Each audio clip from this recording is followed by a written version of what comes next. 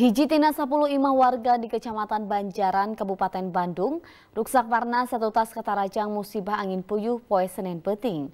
Sajorening kitu taya korban jiwa dina eta kejadian, tapi kerugian material warga di erong tepi kamang juta-juta.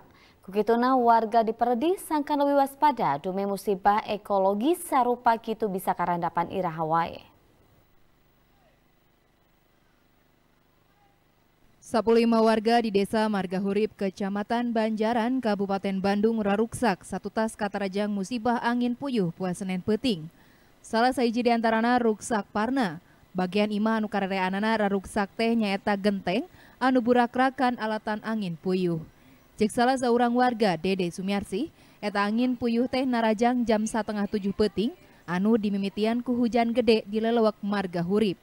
Uh, yang kena uh, ya ini ruang makan dapur terus uh, kamar mandi. Terus yang belakangnya lagi itu apa tembok rusak udah mau copot udah mau ngejeb lagi yang belakang sana.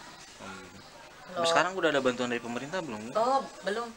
Tapi kaki wari pihak kecamatan nyorang koordinasi jeng pamarentah Kabupaten Bandung kenungkulan serta masrahkan bantuan ke warga Nukatarajang musibah angin puyuh dari data yang dihimpun ada berapa rumah ya? Ada 10 rumah, 10 rumah di Desa Margawari. Terus titik-titik di Kecamatan Banjaran sendiri eh, yang paling untuk eh, diantisipasi di kawasan mana saja berapa desa ya? Itu kan saya tadi bilang bahwa Peting Bilung itu eh, alurnya jalurnya satu arah. Ya.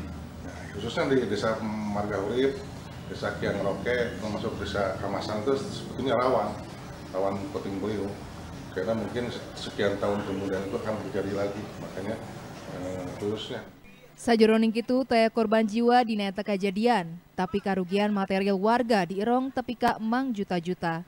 Kukituna warga di Perdi sangkan lewih waspada, dume musibah ekologis sarupa kitu bisa karandapan ira Hawaii. Rezi Tia Prasaja, Bandung TV.